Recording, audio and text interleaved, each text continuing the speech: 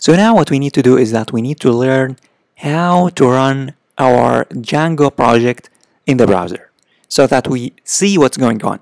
So how can I run my project? To run your project, first of all, you need to open up your terminal. Here, the built-in terminal. And then you need to type the following. You need to type python and then manage.py and then run server. And again, if you are using Python 3, you need to say Python 3. If Python 3 doesn't work for you, just use Python. Just use Python. But I'm going to be using Python 3. And then once you have typed this command, just hit enter. And as you can see here, what's going to happen is that this is going to, this command is going to deploy your project in the browser. So here it says, uh, here it says starting deployment server at this. So you, what we need to do now is that we need to copy this. You need to copy this URL. So I'm going to here copy this URL.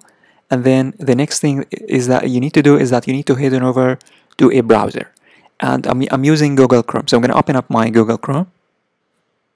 And all you need to do is that you need to paste this URL 127.0.0.1 and then the port 8001 or 8000. It depends upon your port that you were given by Django. And as you can see, now we have this page. This is the default page that comes with uh, Django and it's ha it has been displayed and it says here the install worked successfully. Congratulations.